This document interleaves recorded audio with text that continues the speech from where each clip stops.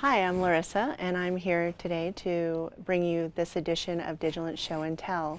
Show and Tell is a product focus on things that you may not know is on our website. So the first thing that we're going to focus on today are clip solutions.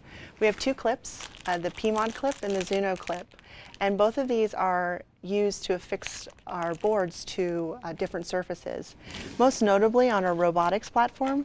So here you can see one of our robot platforms, and right here is the PMOD clip. Or um, the Zuno clips right here. These are fairly strong clips. So for example, I can clip any 2.1 inch product. Let's see if I can get it in it. And it's pretty affixed. So anyways, um, it fits a wide variety of boards, not just our chipKIT boards, but you can also get the BeagleBone Black on there, um, the very popular Arduino platform or even the Freescale Freedom board. And we have a blog post on Does It Fit? So scope out the Zuno clips if you have any um, solutions that you need to affix one of our boards to. We also have at the very bottom of the page the STL files. So if you have a board that's slightly wider or smaller than 2.1 um, 2.1 inches, then you can actually um, stretch it out and print, if you have a 3D printer, your own Zuno clips.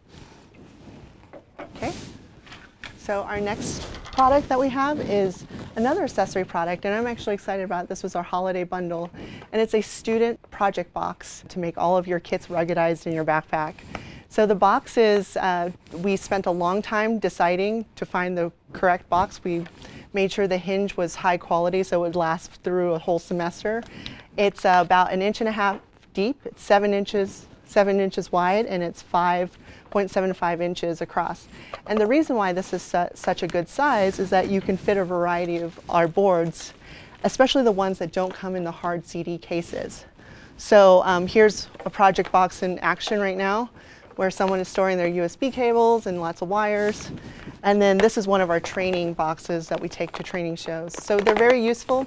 You can buy them by themselves for $7 or you can add it as an add-on item inside of your uh, cart if you buy a board and you can configure it as an add-on item.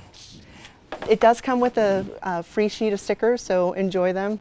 All right, so the last product today for the show and tell is the Zybo, which features the Zynq 7000 processor from Xilinx. You might have already seen this. This is a very popular education board, but it has the Xilinx co-processing um, SoC, so it, there's an ARM core and an FPGA. So what you might not know about it though is if you cart this, there's an option to put a configurable item of the Zynq accessory pack. And the accessory pack, inside of that includes everything you need to work with your Zynq board. So there is a power supply, and um, we include the EU adapter for our EU customers. And there is a um, memory card that is the correct speed for the Zybo to take. And then there is a USB cord for programming. There's also a voucher for Vivado, so, and then that's included. Conveniently, all these things fit inside of the project box.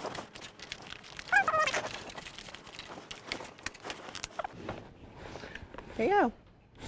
So, thank you for joining us for this edition of Show and Tell, and um, hope you liked it.